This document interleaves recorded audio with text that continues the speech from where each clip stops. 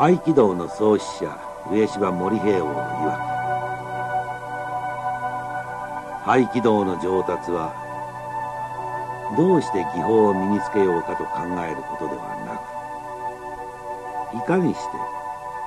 修練したその技法を忘れるかにある。と少なくとも応用技を身につけようとするには自分の身についた基本技が基礎となっておのずからその変化技が出るように努力しなければなりません。そしてしっかりとした呼吸力の鍛錬がその技に反映してより高度な技法にならなければならないのです。合気道の技法には無数の変化技が存在すると言われていますがここではその応用技の中から腰投げ呼吸投げ十字投げ合気落としの4つの技法を取り上げます。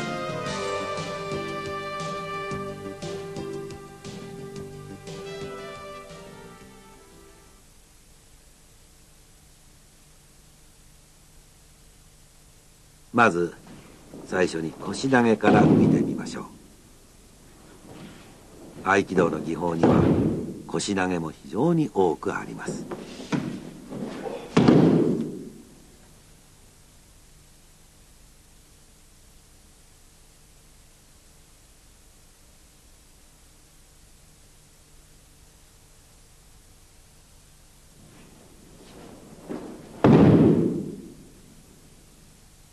相手が両手首を掴んできた場合右足を大きく踏み込み左手で相手の右手尺骨部をつかみ上から大きく左後方へ弧を描きながら切り下げつつ右肩から相手の内側へ入り込みます。相手の重心が腰の上に来るように乗せ左にひねりながら投げます。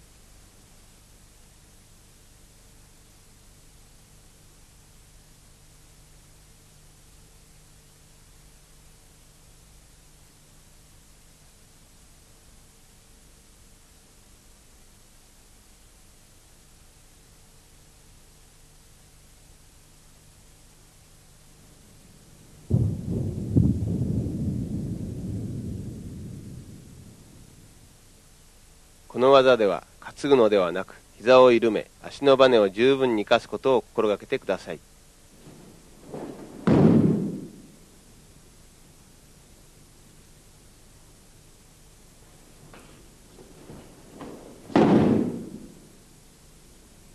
また両手取り腰投げには次のような変化技もあります。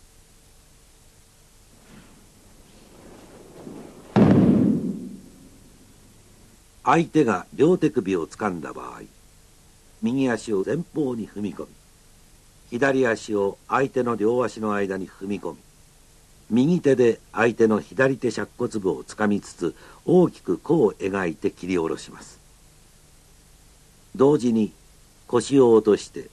右肩を相手の左に寄せ右手で相手の体を誘って腰に乗せます。そして体をひねって立ち上がりながら相手を投げます。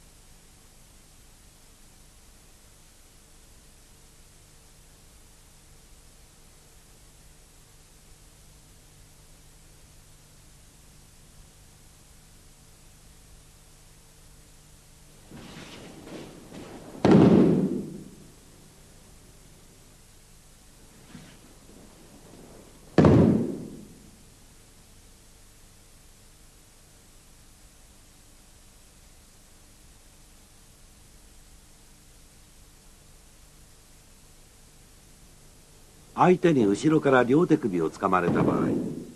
まず重心を落としながら両手刀を内側らせん状に振りかぶります。相手の両手を自分の右肩に揃え腰を右に少しずらして相手をその腰に乗せて投げます。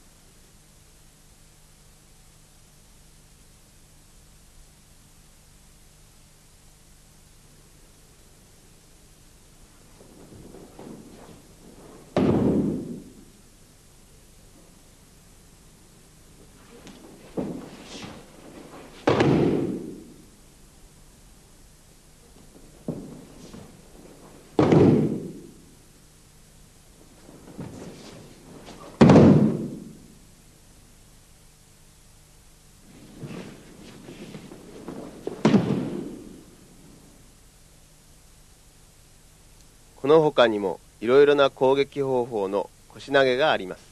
それぞれ修練することも必要です。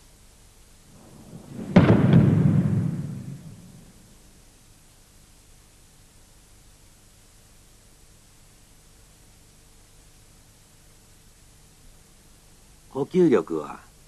合気道技法の命です。したがって呼吸力を充実させての呼吸投げは合気道の花とも言えるのです。同時に根源は呼吸力養成法にあるのでそのつもりで鍛錬してください。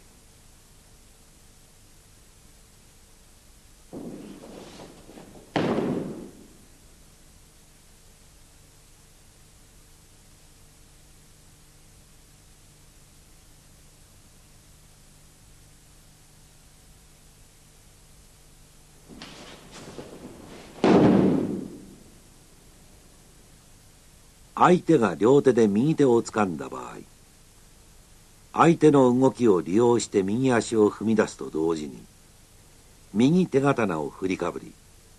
突き落とし気味に弧を描いて切り下ろして投げます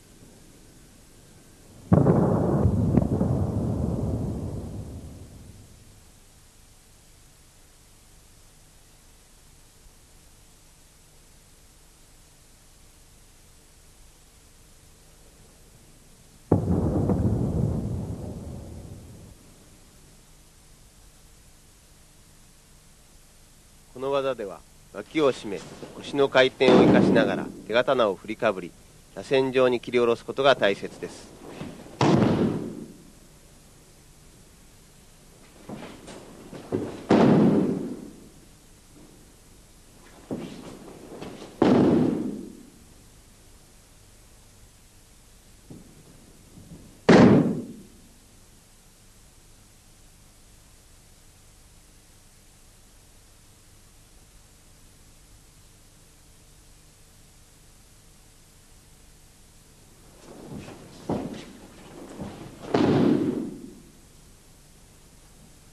相手が右手刀で横面を打ってきた場合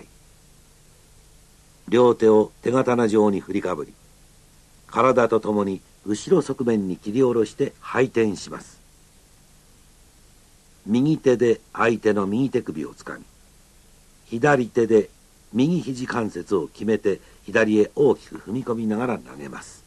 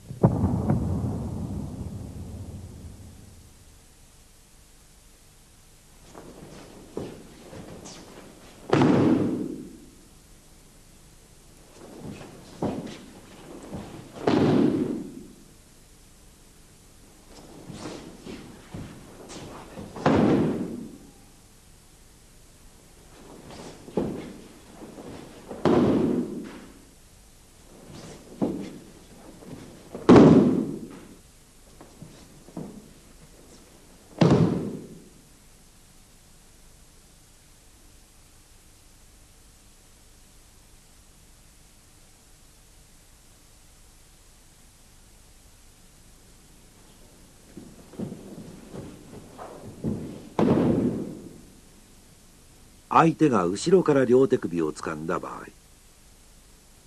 両手を手刀状に振りかぶり右足をやや前方に踏み出します。そして両手刀を突き気味に切り下ろして投げます。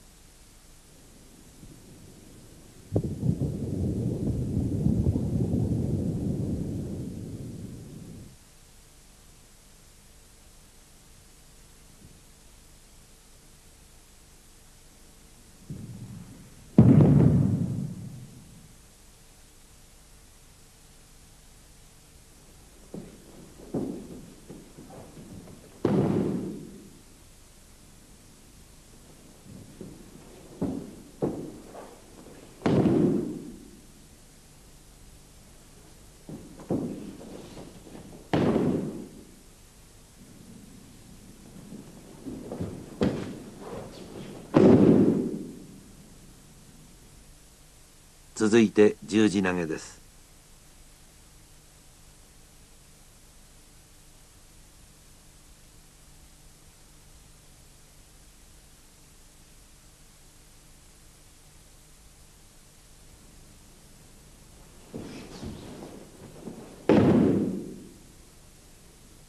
相手が両手で右手をつかみに来た場合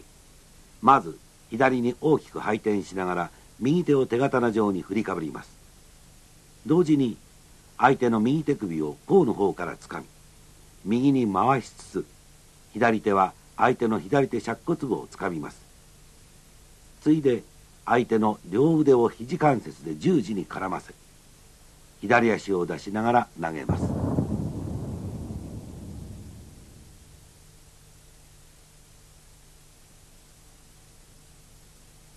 この技では片方の手を上からもう一方を下からつかみ相手の肘を決めながら投げることを心がけてください。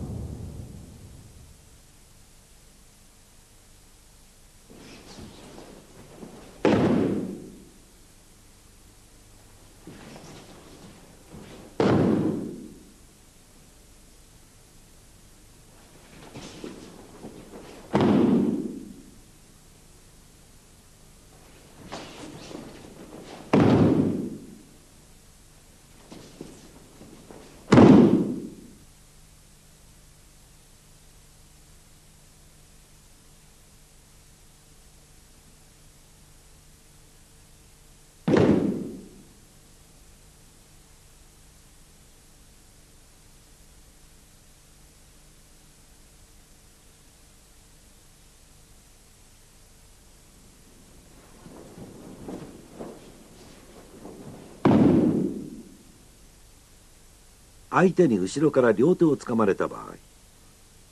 まず重心を落としながら両手刀を内側螺旋状に振りかぶります。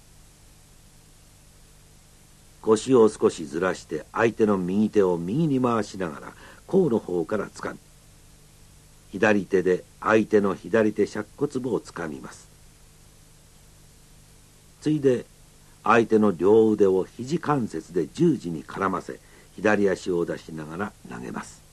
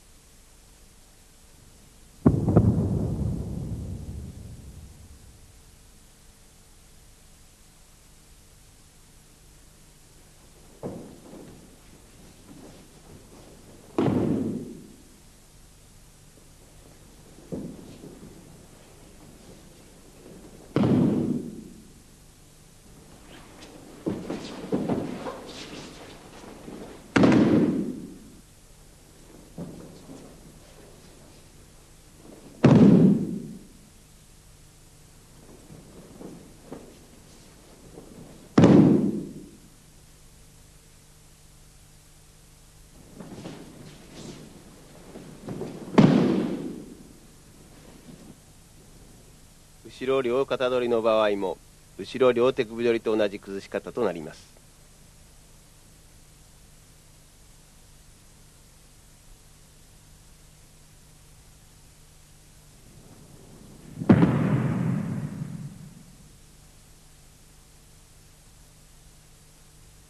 最後に合気落としを見てみましょう。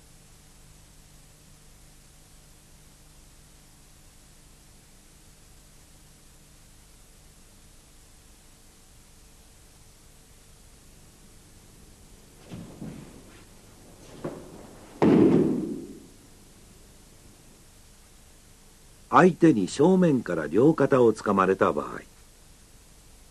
当て身を入れ相手の右側面に入り身します。ついで両手で相手の膝を払うようにし後方に投げます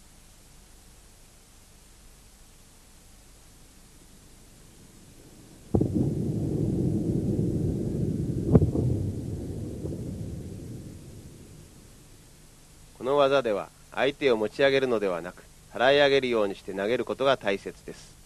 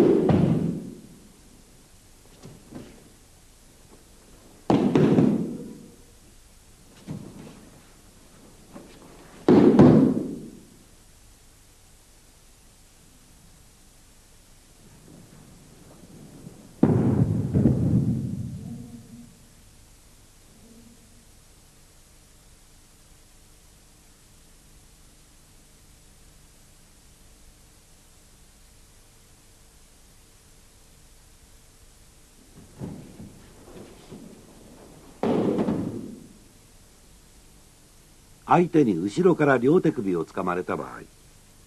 全身に気力を充実させやや左に展開します。ついで素早く左足を中心に右に転じて右足を相手の後方に移し両手で相手の膝を前方に払うようにして後方に投げます。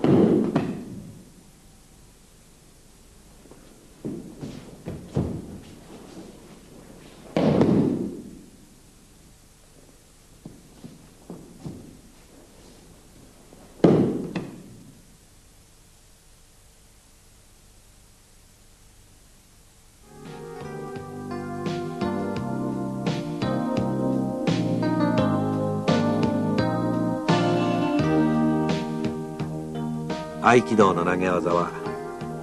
そのほとんどが丸く回るようにできています。自然の動きをこの小さな五体に表現し得てこそ